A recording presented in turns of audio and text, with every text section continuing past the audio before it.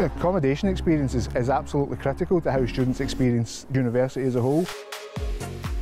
Our students will arrive, they'll meet their new flatmates or they'll make new friends from all the events that all the departments are organising.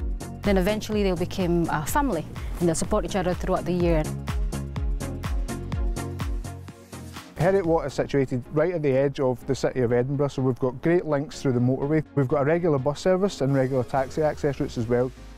I'm looking forward to checking out the different events this week, what clubs and that I can join for the rest of the year too. I've only just stopped sharing a room with my sister now, so the fact that I'm having my own room and ensuite is honestly just the best thing what we've seen is better than what we actually saw on picture. I think this will give her the opportunity to achieve her goals. It's quite nice to have a place that I can now start calling mine. Living on campus, she gets to meet people, she gets to be part of the university life rather than just staying at home. Come, enjoy yourself, get yourself settled into your accommodation, explore campus and see what's on offer for everyone.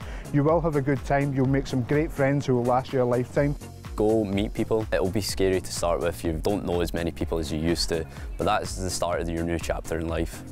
It is nerve-wracking moving into your new accommodation without your parents, without your loved ones, but we just want to assure you that we are here for you and we want to make sure that you have the best experience that you can have.